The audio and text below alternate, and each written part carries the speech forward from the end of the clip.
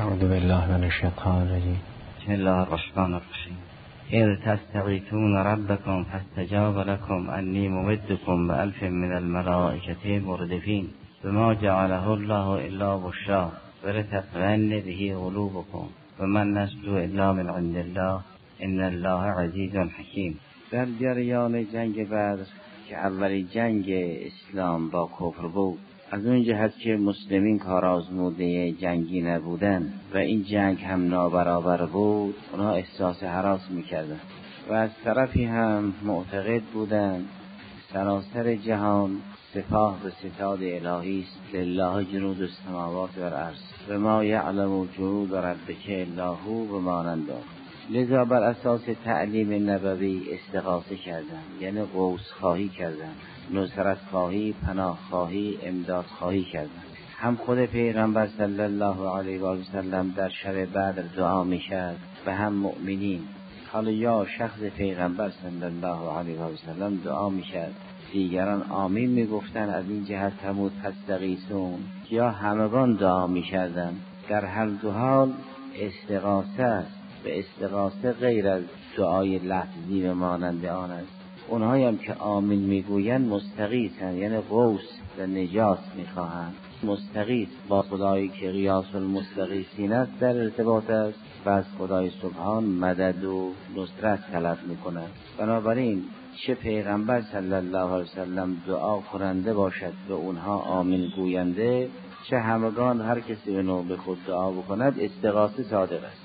و از وجود مبارک امیر المؤمنین سلام الله علیه رسیدد که در شب بعد ادهی بالاخره مشغول استراحت شدن ولی وجود مبارک پیغمبر صلی الله علیه و سلم تا صبح زیر درختی در همون جریان بدر به مناجات حق مشغول بود و عرض می‌کرد خدا یا این تحریک حاضر اصابه لم تعبد علا وجه اگر این گروه اندک از بین بروند تو دیگه در روی زمین عبادت نمی‌شوی. برای که سراسر عالم را کفر گرفته همین گروه هم که مؤمنند و مردم را به ایمان دعوت می‌کنند. ولی اضطرابی نداشت. اون که از حضرت علی سلام الله نقل شده است این است که وجود مبارک پیغمبر صلی الله علیه وسلم گرچه تا صبح مشغول مناجات بود ولی مضطرب نبود. معنی را داشت.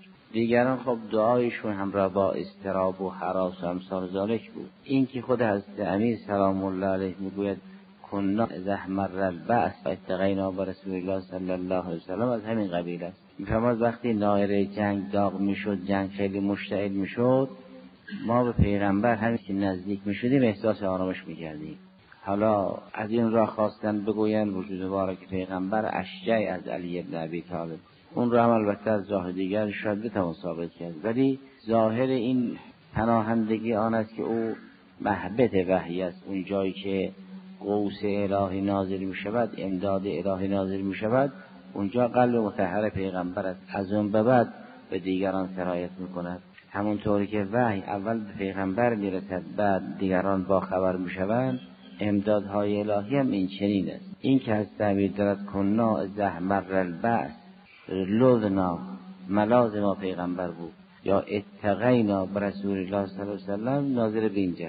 از تستقیسون ربکم اونگاه فستجاب لکم ذات اقدس اله اجابت کرد. فرمود من فرشتگان میفرستم. خب این رو که فرمود انی ممدکم به الف من الملائکه دریافت کننده این شخص پیغمبر صلی الله علیه وسلم است. یعنی دریافت کننده این اجابت. گرچه اجابت عینی و خارجی را همگان می‌دیدن پیشنهادی از طرف مؤمنین و مجاهدین در جریان بدر به خدای سبحان داده نشد. که از چرا ما را کمک بکنید؟ فقط کمک خواستن اما خدای سبحان گاهی رعب و حراس در دلهای دیگران ایجاد می کند که خود رعب از جنود الهی است. گاهی به وسیله طوفانهای آبی یا خاکی یا هوایی اسلام و مسلمین را یاری می‌کند. نظیر آنچه در جریان جنگ احزاب اتفاق افتاده گاهی هم به وسیله فرشتگان است. نظیر آنچه در جریان جنگ بدر و مانندون اتفاق افتاد. اونا فقط از خدا یاری خواستند. سراسر عالم که سپاه و ستاد خداست لله جنود و سماوات و الارض یک آیه. و ما یعلم جنود ربک الله آیه دیگر. اونها از خدا قوس و یاری طلب کردن اما دیگه پیشنهاد ندادن از چه راه ما را یاری کن. خدای سبحانم گاهی به وسیله ها گاهی وسیله القاء روب گاهی وسیله القاء اختلاف و مانند آن گاهی به وسیله فرستادن فرشتگان. در جریان جنگ بعد که حتما روایات شما لازم فرمایید روایاتش هم توضیح مبسود است. شاید ما نرسیم همه روایاتی بخوانیم. و در اسنای بحث به این روایات جنگ بدر اشاره خواهد شد. در جریان جنگ بدر اون دفعتا دیدن که جمعیت اونا زیاد به وسیله فرشته ها یادی شدن فاستجاب لکم انی ممدکم به الف من الملائکه مردفین. کمک های طبیعی هم خواستن که اون رو در آیات دیگر ذکر می‌کنن مثل اینکه اون منطقه در منطقه شنی بود از ها یا انسان های مجاهد پاشون فرو می‌رفت. اینا احتیاج داشتن به یک جای سفت و مستحکمی. و از طرفی آب نداشتن باران نازل شد که هم شستشو کنن هم نیازهای نوشیدنشون رو برطرف کنن و ماننده چون در بحث بعدی که کمک های طبیعی. اما اینا کمک های از راه ارسال فرشتگان است. پس تجاب لکم که انی ممدکم. من شما رو کمک می‌کنم. مدد به یاری میرسانم. که در قدرت شما امتداد پیدا کند. به افاظه الهی. و به قدرت الهی ممتد بشه نحوه امداد من است که به الف من الملائکه من هزار فرشته را به کمک شما میفرستم. این فرشتگان موردتن اون کسی که جلو قرار گرفت اون میشن مرده. اون که دنبال است و در ردیف قرار می‌گیرد اون میگن راده اینا که با هم سوار می‌شوند اون جلوی رو میگن مرده. به این دنبالی که متأخر است بشونن راده آیا فرشتگان این چینن که موردفن یکی جلو یکی دنبال. ترادف هم که میگن از همین قبیله. یعنی تطابق که جلو و دنبال طبیعی یا نه تا مطیع و مطاع بودن است همونطوری که فرشتگان وحی علمی بعضی ها مطیعن بعضی مطاعن. انه لقول و رسول کریم. مطاع سمع امین فرشته ای هست وحی می آورد که در پیشگاه ذات اقدس اله مطاع فرشتگان دیگر که زیر مجموع او به سر مطیع هستند. اینجا هم مورد فن یعنی بعضی ها دنبال بعضن. نظیر این ستون سرباز یا سپاه که حرکت می‌کنند این چنین که اینا مردفینن صد نفر یا دویست نفر ارتشی یا سپاهی ستونی حرکت می‌کند اینا مردفن این معناش یا نه بعضی متان بعضی مطیع. نظیر اون فرمانده گردان فرمانده هنگ فرمانده دیب از این قبیل. اگر به این معنا باشد که به الف من الملائکت مردفین یعنی هزار فرشته که مترادف همند ردیف همند بعضی جلو بعضی دنبال نظیر ستون نظامی. این اگر باشد اونگاه با اون آیات سوره مبارکه آل امران با توجیه بشود که در بخشای از سوره مبارکه آل امران که قبلا گذشت در همین جریان جنگ بعد گاهی میفرماد ما شما را به سه هزار گاهی هم به پنج هزار یاری می‌کنیم. آیه صد و بیست و سه به بعد سوره مبارکه آل امران این است. ولقد نصرکم الله به بدر و انتم ادله فاتقوا الله لعلكم تشکرون. اذ تقولوا للمؤمنین الان یکفیکم ان یمدکم ربکم بثلاثة آلاف من الملائكة منزلین. بلی ان تصبروا و تتقوا و من فورهم هذا یمددکم ربکم به خمسة آلاف من الملائکت مسومین این فرشتگان را گاهی به سه هزار گاهی به پنج هزار گاهی هم به هزار. در اونجا که سخن از فرستادن سه هزار فرشته تعبیر به منزل فرمود بثلاثة آلاف من الملائكة منزلین. سه هزار فرشته را ما نازل کردیم. اونجایی که فرمود به خمس آلاف من الملائکه فرمود اینا مستقدمن سیما دارن. سیما یعنی علامت نه سیما یعنی صورت. موسوم یعنی سمدار سمه سیما یعنی علامت. منتها چون علامت ها تو چهره هست خیال میشه که سیما یعنی صورت. فرمود سیما هم فی وجوه هم من اثر سجود. سیما یعنی سمه اون وسمه اون علامتشون تو صورتشونه.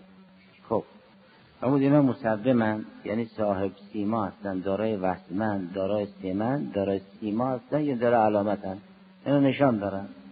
این پنج هزار فرشته نشون دارن اون سه هزار فرشته منظرن.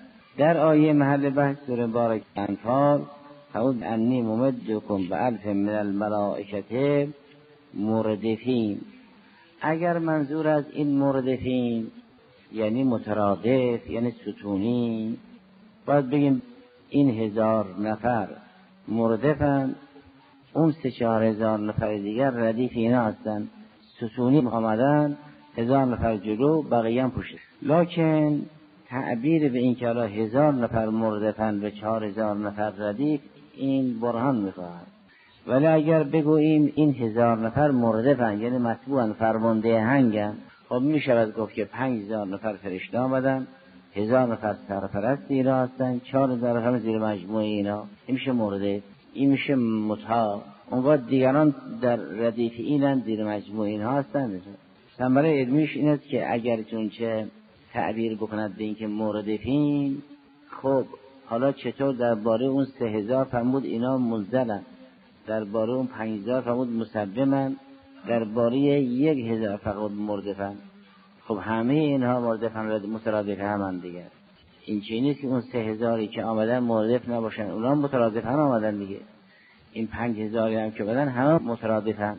حالا چرا درباره هزار نفر بفرماد مردف درباره اون سه هزار نفر بفرماد منزل درباره اون پنج هزار نفر بفرماد مسبم مسبم بودن یه وصف عام است منزل بودن هم یه وصف عام است داری مردف بودن وصف عام نیست. مردف یعنی کسی که مطاع است. دیگران تابع او هستند خب. فرمود انی ممدکم و الف من الملائکه مردفین از جنگ جویی ما نفرات برای شما میفرستیم. از مسائل طبیعی هم باران میفرستیم که اون رو در بخش بعد میفرماد به اینکه هم زمین شنزار رو صفر کند محکم پاتون دیگه فرو نره و هم شستشو کنید و هم نیازهای اکل و شربتون برطرف بشه.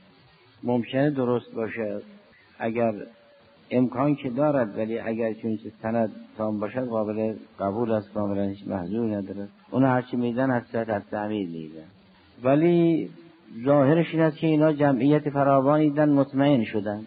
چون فرشتگان یکسان نیستند فرشتگان اون فرشتگانی که حاملان ارشن فرشتگانی که حاملان علمن فرشتگانی که وارد قلب پیغمبر صلی الله علیه و شدن اون فرشتگان نیستن که باران میارن و مانند آن.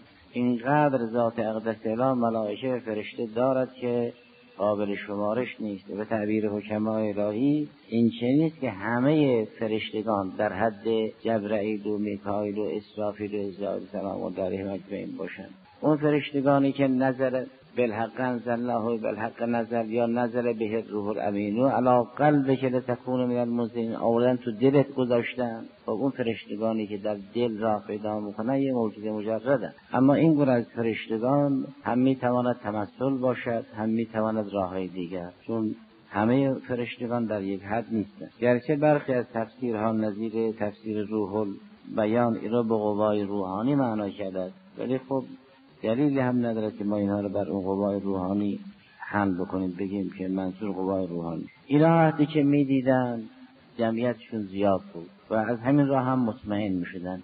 بحث مهم آن است که آیا این فرشتگانی آمدن کسی کشتن یا نکشتن؟ یا فقط برای ایجاد طمأنینه و دلگرمی و تبشیر و ماننده آن آمدن که اون تو بحث بعدی مطرح خب فاستجاب لکم انی ممدکم به الف من الملائکه که این هزار فرشته مردفن اونگاه اون سه هزار نفر و یا پنج هزار نفری که البته با اینها جمعا پنج هزار نفر هستند غیر از این هزار نفر بقیه ردیفند و رادفند تابعند. به این هزار نفر فرمانده هنگند بالاخره. اینا فرمانده گردانه اینا فرمانده تیبن البته اگر منظور از مردف یعنی این هزار نفر مردفن و الف الفی را به دنبال دارن اونم محال نیست. لکن طبق با ظاهر نخواهد بود. پس تجاب لکم انی ممدکم به الف من الملائکه مردفین این از منصوب است به اون اذکر مقدر یعنی صحنه رو یاد بیاری و اینکه اون روز هیچ کس به دار شما نمی‌رسید مگر ذات اقدس خب حالا این سوال مطرح است که آیا این فرشتگان آمدن برای کشتن یا نه؟ فقط برای تقویت روح تقویت قلبی آمدن. این یه مطلب مطلب دیگر این است که آیا جنگ بعد را مردم و خدا و فرشتگان با هم پیش بردن؟ یا خدا و مردم مانند موجودات دیگر جز سپاه و ستاد الهی هم. کار فقط به دست خداست. برای اینکه کسی توهم نکند در جنگ او حرف اول زده. یا فرشتگان نقش تعیین کننده دارن میفهمون که شما و فرشتگان و امثال ذالک اینا به منزله اعضا و جواره محور کار خدایی نه اعضا و جواره وصف ذات شرکت به محور و اعضا جواره خود ذات. شما تو بخش سوم قرار دارید زیر مجموعه کار خدایی گرداننده دیگری. و ما جعله الله الا بشرا. این یک ولی تطمئن بهی غروبکم. این دو و مستحضر باشید که به من نسو الا من عند الله این سه. اونگاه اصل جامعش همین که ان الله عزیز حکیم که علاهده بود بعد این رو در سوره مبارکه آل عمران هم قبلا بحثش گذشت که ذات اقدس اله انذار این فرشتگان را به عنوان بشارت برای اسلام و مسلمین قرار داد. آیه 123 سوره مبارکه آل عمران این بود. و لقد نصرکم الله و بدر و انتم ادله. فاتقوا الله لعلكم تشكرون. إذ تقولوا للمؤمنين ألم يكفيكم أن يمدكم ربكم بثلاث آلاف من الملائكة منزلين؟ بلى إن تصبروا وتتقوا ويأتوكم من فورهم هذا يمددكم ربكم بخمسة آلاف من الملائكة مسبمين وما جعله الله إلا بشرى. ولتطمئن قلوبكم به وما النصر إلا من عند الله العزيز این مضمون در همون آیه 126 سوره مبارکه آل عمران هست که بعد یقت طرف من الذین کفروا او یکبتهم فینقلبوا خائبین لیس لک من الامر شیء او یتوب علیهم او یعذبهم فانهم ظالمون. که ظهور توحید کامل در اونجا کسی مبسوطا گذشت ولی باز بهش اشاره میشه خب در اینجا هم یعنی آیه ده سوره مبارکه انفال هم فرمود و ما جعله الله الا بشرا. این امداد و انزال و تسلیم فرشته ها برای بشارت شما این یکی. بشارت دادن که شما پیروز میشید این گزارش اول. ولی تطمئن بهی غروب بکن. شما وقتی میری جمعیتون زیاده است شما آخر سیصد و اندی بود اونا هزار نفر. حالا وقتی به جمعیت شما بیش از اونهاست مطمئن میشید ولی تطمئن به قلوب اما مبادا خیال کنید که کمک در این جنگ پیروزی جنگ وسیله شماست یا وسیله فرشته و من نصر الا من عند شما ابزار کاری تمام تأثیر فاعلی از عند خدا. این ظهور توحیده و من نصر الا من عند پس اگر کسی بگوید که ما دین خدا را یاری کردیم بر اساس که خدا فرمود ان تنصر الله ینصرکم و مانند اون این باید با آیات توحیدی دیگر نظیر آیه سوره آل عمران آیه سوره انفال و مانند اون ارزیابی کند. تا روشن بشود. دیگران ابزار کارند. در ردیف علل قابلی نه در فایدی فاعل فقط او. و من نصر الا. این نقش قابلی دارن دیگر یعنی اون که قلب این مجاهد را آرام کرده است و توانی به او عطا کرده است این با نصرت الهی. و من نصر الا من عند الله. بعد فرمود ان الله عزیزون. عزتا قبلا گذشت معنی نفوذ ناپذیری است. نه عزت یعنی غلبه. اون سنگ ستبر نفوذ ناپذیر اون صخره سما را میگن عزیز. اون زمین سفت مستحکمی که کلنگ در او اثر نمی کند میگن ارزون عزاز انسان نفوذ ناپذیر را میگن عزیز. مؤمن عزیزت نفوذ ناپذیره و لازمه نفوذ ناپذیری آن است که غالب باشد. خب اگر در یک نبردی یکی از دو طرف نفوذ ناپذیر بود دیگری نفوذ پذیر خب اون نفوذ ناپذیر غالبه دیگه. پس عزیز یعنی غالب نیست. این غلبه لازمه عزاز و نفوذ ناپذیری. این یه پس اگر از ناحیه ذات اقدس الهی فیضی بیاید دیگه نصرت و تمام این کارها بر محور حکمت است که خدا می‌داند کی یاری بکند که یاری نکند؟ کجا یاری بکند؟ کجا یاری نکند؟ به چه وسیله یاری بکند؟ به چه وسیله یاری نکند؟ حکیم است. ان الله عزیزون حکیم. یه وقت است که برای تنبیه و گوشمالی کمک نمیفرستد. نظیر بخش از جریان جنگ احد و مانند اون. و دعا گاهی هم در اونجا اثر نمی کند این از بیانات نورانی امام سجاد سلام الله علیه است در اون. سیب سجادیه یا من لا تبدلو حکمت حل وسائل. یعنی گرچه خدای سبحان امر کرد فرمود ابتقو الیه الوسیله. نماز دعا توسل به ائمه السلام همه اینها وسائلن. اما هیچ وسیله توان اون رو ندارد که حکمت خدا رو تغییر بده. که خدا حالا کاری غیر حکیمانه بکنه. یا من لا تبدل حکمت حال وسائل. ذات اقدس اله گاهی برای تنبه افراد خوب فرشته نازل نمی کند اون نصرت غیبی رو اون امدادهای غیبی نازل نمی کند لذا بر اساس حکمت عزتش رو اعمال می کند ان الله عزیزون مطلب بعدی آن است که خب این فرشته ها کشتن یا نکشتن بالاخره؟ ظاهرش این است که اینها نکشت. کسی نکشت. برای اینکه قتال را و اهلاک را در هیچ قسمت از این بخش ها چه در سوره آل امران چه در این سوره انفال که جریان بعد رو نقل می‌کنند به فرشتگان اسلام ندادن این یک طرف. از سوی دیگر عدد کشته های کفار مشخص است که تقریبا هفتاد نفرن چون که شهدای مسلمین هم گفتن کمتر از 20 نفر بودن قاتل های اون هفتاد نفر مشخص است.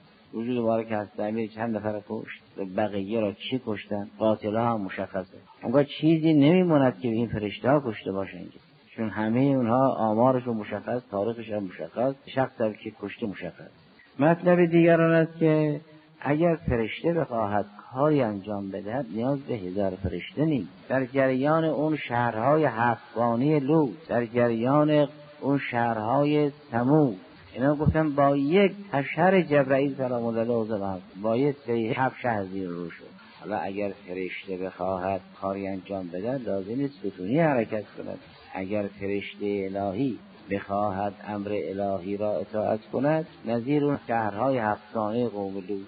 بالاخره اون منطقه وسیع حالا یا مدائم بود یا کمتر بیشتر. اون منطقه وسیع را گفتن با یه اشاره زیر روی کرده. یا جریان قوم سمود را با یه سیحه زیر رو کرده که قابل تحمل نیست.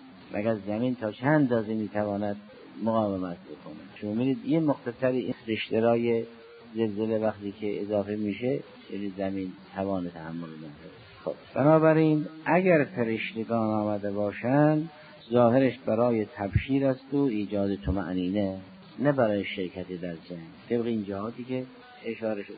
اون وقت قاتل ها مشخص است آخه. این هفتاد نفر از مشکین بدر کشته شدن. کفار مکه.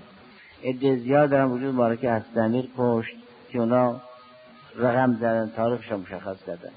عده دیگر رو هم قاتل های معینی دارد به کسی نمود که فرشتگان بکشن که. بله. او رو باید مشخص بکنن که اونا نقلی که هست این است که مجاهدین وقتی که می‌رفتن همین که می‌خواستن شمشیر بزنن میدن که سر اون کافر بین یده افتاده است. خب باید همین چیزی می‌گفتن نه. با روایات معتبری می‌گفتن یک کار عجیبی رو این نمیشه با بعضی از اخبار مرسل حل کرد که خب خود اون شخص اون شخصی که قاتل هست می‌داند که خودش کشته او خودش اعتراف دارد به ادعا هم دارد. و اگر نه من نبودم. شما خیال کردی چیزی شبیه من بود. همه اینها مدعی بودن و مشخص بود. هم اینا ادعا می‌کردن هم دیگران این کار نمی‌کردن. معلوم می‌شود که عدم این کار دیگری ممکن است روی تمثل باشد. یعنی دیگران کسی را به شکل زید می‌دیدن مثلا. اما خود زید وقتی ادعا می‌کند من کشتم دیگه نمیشه گفت تمثل او. فرشته به صورت مثل او در آمد. قلب او رو مطمئن نکرد اگر چون که در جریان بعد اگر هم کسی بود او تا آخر اون منافقان بودنش حفظ کرد. اما قسمت مهم این مجاهدین که مؤمنین محض بودن یاری الهی نصیب اونها شده. یاری پیغمبر را به اینها یاری کرد. اون وقت وجود ماره که هست میرن خودش می‌دونن چند نفر رو کشت دیگه. بقیه رو باز من نکشتم. شما خیال کردی کسانی شبیه من در آمدن. اما خود حضرت ادعا می‌کنه که من اینقدر کشتم. دیگران هم ادعا می‌کنن ما این مقدار کشتیم. جمع کشته شده هفتاد نفرن. کسی هم انکار نمی کند هر کدام از اینان در تاریخ مشخص است. برای اثبات اینکه مدیر عامل کل جهان هستی فقط ذات اقدس اله است دیگران هرچه هستن سپاه و ستاد اویم گذشته از این جمله به من نصر الا من عند الله که هم در سوره انفال آمده هم در سوره آل امران آیه 127 و 128 سوره مبارک آل امران است. که بعد فرمود من نصر اقلام عند الله العزیز حکیم فرمود تمام این ها برای این است لیقطع طرفا من الذین کفروا. او یک بتهم فینقلبوا خائبین. لیس لک من الامر شیء. او یتوب علیهم. او یعذبهم فانهم ظالمون. برای تحکیم به استقرار توحید پنج مطلب را ذکر می کند دو مطلب را اول ذکر می کند یعنی مطلب اول و دوم. مطلب چهارم و پنجم هم آخر ذکر می کند اون مطلب که مربوط به هسته مرکزی توحید است او را وسط ذکر می کند در اونجا هم که برای توی پیغمبرم هیچ سهمی نیست حالا این چه نیست که دیگران ابزارن. هم ابزارن هم ابزاری. همون تمام این کارها برای این است که لیقطع طرفا من الذین کفروا یک. او یک بتهم فینقلبوا خائبین. یا اینها را مخزول و منکوب بکند که اینها خاسرن برگردن این دو. او یتوب علیهم این چهار. او یعذبهم این پنج. بین اول و دوم. به بین چهارم و پنجم اون هسته محوری توحید ذکر می‌کند و لیسه لکه من امر هیچ چیزی برای تو نیست. تا دیگران حسابشون رو بکنن عالم فقط یه نفر میگردونه. منتها تو دعایت مستجاب تو ما نزدیکتری تو ابزار خوبی است لیق تعد طرفا من الذین کفروا. یک. او یک بت هم فینقرب خائبین. دو. او یتوب علیهم. چهار. او یعذبهم. پنج. بین این چهار و پنج. به بین اون اول و دوم اون مطلب سوم ذکر کنند لیسه را که من امرشه چهار تا کار را به خودش استاد میده. همه کار اثباتی. یک کار را به پیغمبر استاد میده کار منفی. یعنی از توی چی ساختنی تا فرشتگان هم حسابشون بکنن دیگران حسابشون اون وقت خود وجود که پیغمبرم که به این توحید آگاه هست لذا تضرع و ناله و استغاثه و نظر بیش از دیگرانه. فرمود و ما جعله الله الا بشرا و تطمئن به قلوبكم و من نصر الا من عند الله ان الله عزیز حکیم. حالا اگر مطالب مربوط به این آیه 9 و 10 سوره مالک انفال نمونده باشد درباره نزول باران در جریان بعد بسر میشه الحمدلله